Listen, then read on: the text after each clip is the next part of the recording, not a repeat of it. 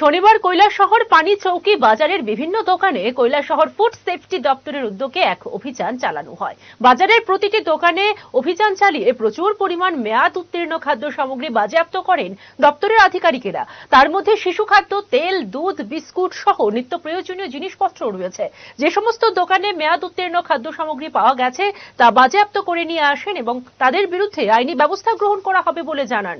এদিনের অভিযানে উপস্থিত ছিলেন স্বাস্থ্য দপ্তরের পক্ষ থেকে ডাক্তার শঙ্খ শুভ্র দেবনাথ ডিসি মতিরঞ্জন দেববর্মা সহ অন্যান্যরা। সেফটি একটা আন্ডারে যে আমাদের যে প্রোডাক্টগুলো আছে সেগুলোর এক্সপায়ারি ডেট অনেক সময় আমরা দেখা যায় দোকানগুলোতে।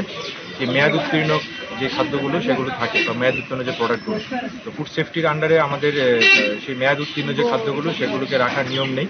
তো তার জন্য আমরা রুটিন ইন্সপেকশনে বেরিয়েছি। সেটা সারা কৈলাসর ব্যাপী চলবে, কুমারঘাটেও হয়েছে।